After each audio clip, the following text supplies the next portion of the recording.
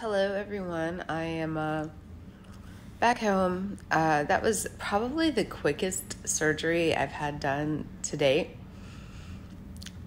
When you're having a cavitation removal, they basically, because there's no tooth there anymore, it's just a pocket full of whatever they're trying to clean out from a wisdom tooth where that a ligament was left in there, and the ligament over time has gone bad.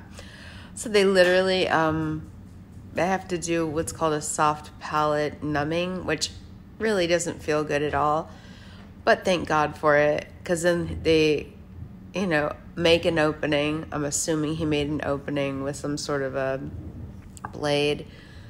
Went in there with a drill, and he drilled up into the bone, which is my jaw, to clean, and also there's suction at the same time. So I'm sure there was a ligament in the pocket, old ligament that needed to be cleaned out, gets sucked out, cleaned out.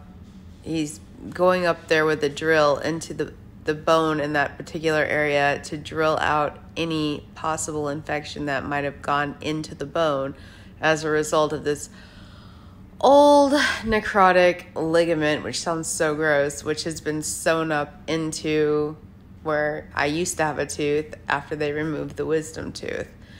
So basically, they're going in and cleaning out that whole pocket and also making sure to grow new bone where that old bone had been exposed to infected tissue for the past 20 years. So it wasn't exactly pleasant because it's a surgery, but it wasn't bad like all the others where you had to literally get in there and fish for like pieces of tooth that had broken into a million pieces.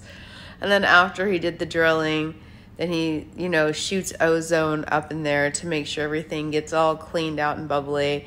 And I forgot to mention, they did take my blood again and separated it, got the platelet rich fibrin, and he shoves that up into the hole to help with healing things faster and then sews me, sews me right back up. So the pocket is now like sewed shut again and ready for the healing process. And that platelet rich fibrin is shoved up in there to help with healing.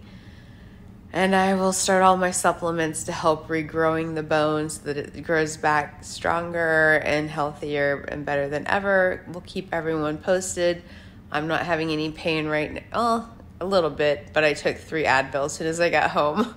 So I will keep you all posted as to the progress. It was my final surgery today. Yay!